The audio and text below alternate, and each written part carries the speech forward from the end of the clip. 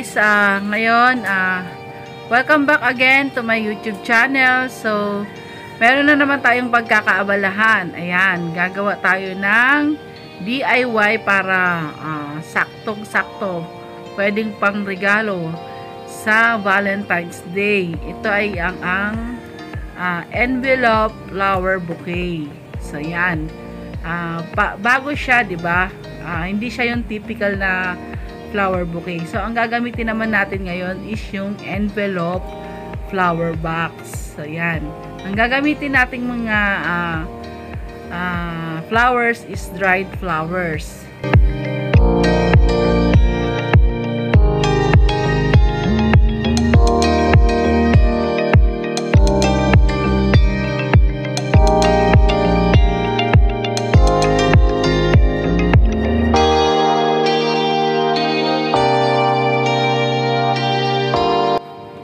guys, uh, mag-start na tayong uh, mag-ayos. So, una, i-assemble muna natin yung ating envelope box and then, uh, yan, uh, panoorin nyo guys ko, uh, kung paano ko ginagawa at least para magkaroon kayo ng idea uh, kung paano yung uh, ating uh, dried flower uh, envelope surprise box. Ayan, saktong-saktong pang regalo sa Valentine's Day.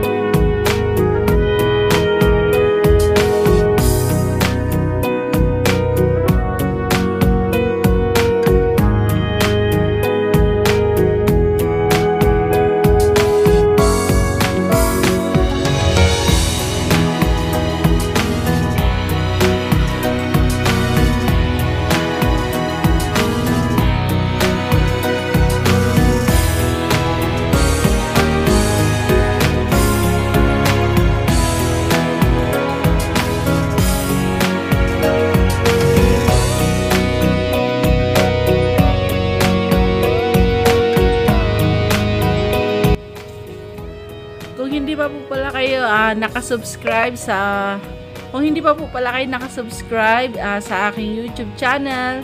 So paki subscribe na po and then uh, paki turn on na din po yung uh, bell button para at least uh, lagi kayong updated sa aking mga ginagawa. So ayan guys uh, paki-share na lang din po uh, itong video ko para at least uh, maraming uh, makapanood po ng aking mga uh, DIYs And then po, uh, maraming maraming salamat po sa support nila.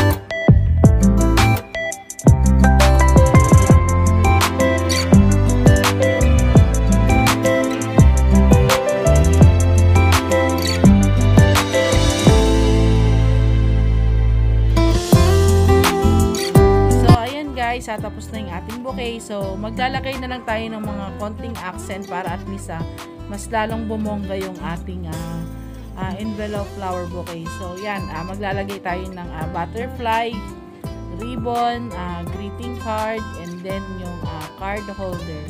So yan pa yung mga ah, additional na ah, ilalagay natin sa ating ah, DIY for Valentine's Day.